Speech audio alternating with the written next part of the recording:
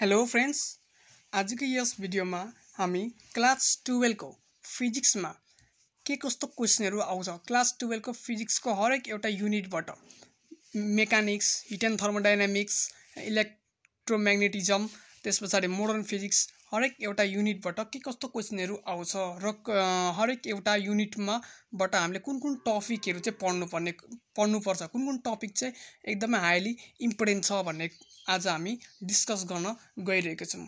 Class टुवेल्भको exam आउन होइन एकदमै नजिक छ एक महिना डेढ महिना कति होला एक्जाम आउनको लागि अब हामीले हार्डवर्क भन्दा पनि स्मार्ट वर्क गर्नुपर्छ। टाइम थोरै छ भनिसके पछाडि अब हामीले हरेक एउटा च्याप्टरको नोट बनाएर के गरेर होइन हरेक टपिकहरू पढेर त्यो बुझेर त्यसरी अब एक्जाममा पास हुँदैन। होइन भए तापनि के हुन्छ भन्दाखेरि ग्रेड कम्ती आउँछ मार्क्स कम्ती आउँछ टाइम पुग्दैन नि त टाइम भ्याइँदैन। अब एक वर्षसम्म के गर्दै बस्यो? होइन टाइम अब डेढ महिनामा त टाइम पुग्दैन त्यही भएर अब हरेक एउटा टपिक कुन कुन पढ्ने टक टक टक पढ्ने राम्रो मार्क्स ल्याउने। अब त्यतातिर जानु पऱ्यो नि त ध्यान त हो। अब त्यही भनेर मैले यस भिडियो लिएर आइसकेको छु। ठिक छ? ल त भिडियोलाई सुरु गरौँ न त। ठिक छ? माई सोल्युसनमा आजको यस भिडियो भनेको mastering class twelve physics NB physics board exam ठिक छ? फिजिक्सको बोर्ड एक्जाममा के कस्तो क्वेसनहरू आउँछ? त्यसलाई अब आज हामी मास्टर्स मास्टर गर्नेछौँ। त्यसमा आज हामी एकदमै होइन? अब के भनौँ त? फिजिक्समा अब ए प्लस ल्याउने भन्ने कुरा हो। धेरै भयो होइन? पास कसरी पास हुने भन्ने कुरा हो। अब यहाँ सबभन्दा सुरुमा हामीमा छ मेकानिक्सबाट। मेकानिक्सबाट के के पढ्ने भन्दाखेरि मेकानिक्सबाट यहाँ मुभमेन्ट अफ इनेसिया होइन एकदमै धेरै इम्पोर्टेन्ट छ। त्यसको के भन्छ मुभमेन्ट अफ इनेसियाको डिफाइन गर्ने त्यसको फर्मुलाहरू एकदमै धेरै इम्पोर्टेन्ट छ। त्यस पछाडि यो uniform rod along movement of इनेसिया of uniform rod along centre and end यो इम्पोर्टेन्ट छ। Simple pendulum time period of simple pendulum very important होइन यो फिक्स्ड आउँछ एउटा। Derive the expression for the height of capillary action यो important र fourth नम्बरको त मेरो favourite define derive Bernoulli theorem एकदमै धेरै इम्पोर्टेन्ट हाइली इम्पोर्टेन्ट हुँदा नि हुन्छ। बिबी आइयो। ठिक छ? यहाँबाट चट्टै धेरै इम्पोर्टेन्ट छ।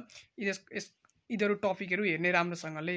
अब हिट एन्ड थर्मोडाइनामिक्सको कुरा गर्दाखेरि डिफाइन मेयर्स रिलेसन हो अनि त्यस पछाडि relation between CP and CV एकदमै धेरै important CP is greater CP minus CV equals to R धेरै इम्पोर्टेन्ट त्यसै गरी thermodynamic प्रोसेसहरू isobaric process isochoric process adiabatic process isothermal process एकदमै धेरै इम्पोर्टेन्ट त्यसै त्यो सँगसँगै first law of thermodynamics second law of thermodynamics second law of थर्मोडाइनामिक्सको जुन स्टेटमेन्टहरू छ क्लोजन स्टेटमेन्ट केल्भिन स्टेटमेन्ट एकदमै धेरै इम्पोर्टेन्ट छ र यहाँनिर एउटा छुटेको छ। एकछिनमा भन्छु। डिस्क्राइब यो अटो साइकल डिजल इन्जिन र कार डिजल इन्जिन पेट्रोल इन्जिनबाट एउटा न एउटा यहाँ पेट्रोल इन्जिन लेख्न मलाई बिर्सेछु डिजल र पेट्रोल इन्जिन एकदमै धेरै इम्पोर्टेन्ट छ।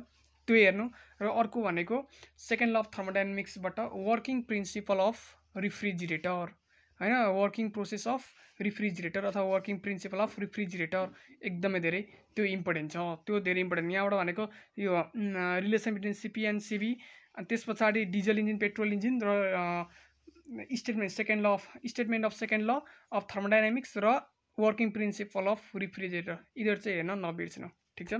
त्यो सँगसँगै अब भनेको हाम्रो छ मोडर्न फिजिक्स मोडर्न फिजिक्सबाट मिलिकेन्स वेल ड्रप एक्सपेरिमेन्ट। यहाँबाट न्युमेरिकल आउँछ आउन सक्छ। होइन? Motion of electrons in electric field and magnetic field यो अलिक इम्पोर्टेन्ट छ। त्यसरी थम्सम्स एक्सपेरिमेन्ट इम्पोर्टेन्ट छ। हो तिनीहरू एक दुई तिनवटा वान टू थ्रीबाट दुई तिनवटाबाटबाट एउटा आउँछ। एउटा आउँछ। थम्सम्स एक्सपेरिमेन्ट ए होइन आइन्स्टाइन्स इले फोटो इलेक्ट्रिक इक्वेजन भिभिभिभिआई मिलिकेन्स फोटो इलेक्ट्रिक एक्सपेरिमेन्ट खासै आउँदैन। अनि नहेर्दा पनि हुन्छ। फाइभ नम्बरको सिक्स नम्बरको भनेको PN junction and Kyar characteristics धेरै इम्पोर्टेन्ट अर्को full wave rectifier very important radius and energy of electron and orbit very important explain the production of X-ray very important explain Black's law very important त्यस्तै state law of radioactivity disintegration and derive half life numerical र derivation very important यहाँबाट one two थ्रीबाट एउटा four नम्बरको very important five नम्बरको नहेर्दा पनि हुन्छ six seven eight nine ten eleven सबै इम्पोर्टेन्ट। सक्यो। मोडर्न फिजिक्स खतम। अब हामीसँग छ यो भनेको एकछिनमा भन्छ। इलेक्ट्रोमेग्नेटिजमको wave and optics. Wave and अप्टिक्सबाट stationary वेबको इक्वेजन डेराइभ गर्ने Newton's formula for velocity of sound in gas अनि ल्यापलेस करेक्सन धेरै important. Mode of vibration in close open and close pipe यसबाट न्युमेरिकल आउँछ थ्री नम्बरबाट। Derive the velocity of transverse wave यो अलिक त्यस्तो पढ्नु पर्दैन फोन नम्बरको। भेरिफाई द ल भेरिफेस यो पढ्दैन। फोर र फाइभ त नहेर्दा नि हुन्छ म भन्छु नहेर। सिक्स नम्बरमा डोफ्लस इफेक्ट धेरै इम्पोर्टेन्ट डोफ्लस इफेक्टबाट न्युमेरिकल भेरी इम्पोर्टेन्ट छ। होइन यो न्युमेरिकल गर्न आउँदैन भने मैले सजिलो तरिकाले सिकाएको छ। होइन भिडियो बनाएको छ एउटा भिडियोको लास्टमा मैले न्युमेरिकल कसरी सल्भ गर्ने भन्ने कुरा सिकाएको छ। डेरिभेसन पनि हेर्नु डोफ्लर इफेक्ट भनेर। अनि state Huygens principle and explain reflection यो धेरै इम्पोर्टेन्ट सेभेन नम्बरको इम्पोर्टेन्ट छ एट नम्बरको नाइन नम्बरको टेन नम्बरको सबै इम्पोर्टेन्ट छ। कुन कुन हेर्ने? One number two number three र फोर पर्दैन। होइन one two three number four र फाइभ चाहिँ पर्दैन सिक्स नम्बरको अनि सेभेन एट नाइन टेन अरू सबै हेर्ने। ठिक छ? धेरै इम्पोर्टेन्ट छ यिनीहरू। वेब एन्ड अप्टिक्सबाट यति हेऱ्यो भने पुग्छ। ठिक छ? जति राम्रो गर्छौ। अब electricity and म्याग्नेटिजमबाट explain Kirchhoff's law and Wheatstone bridge circuit यसबाट के आउँछ भन्दाखेरि यसबाट नि न्युमेरिकल आउँछ। एउटा न्युमेरिकल गर्ने अथवा न्युमेरिकल गर्ने र अर्को भनेको डेरिभेसन आउँछ। Kirchhoff's law and Wheatstone bridge सर्किटबाट होइन? अनि वाट इज पोइन्टोमिटर यो पढ्ने। अनि एप्लिकेसन यो जुन छ टु नम्बरको पनि पढ्ने टु नम्बरको इम्पोर्टेन्ट छ। थ्री नम्बरको धेरै इम्पोर्टेन्ट ग्याल्भेनोमिटरलाई एनमिटर र भोल्टोमिटरमा कसरी कन्भर्ट गर्ने भन्ने कुरा। एक्सप्लेन जोस ल फिटिङ यो इम्पोर्टेन्ट छ।